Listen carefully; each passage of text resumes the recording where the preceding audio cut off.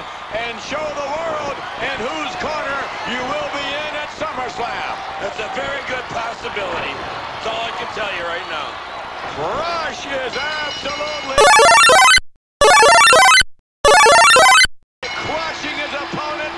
This was no contest.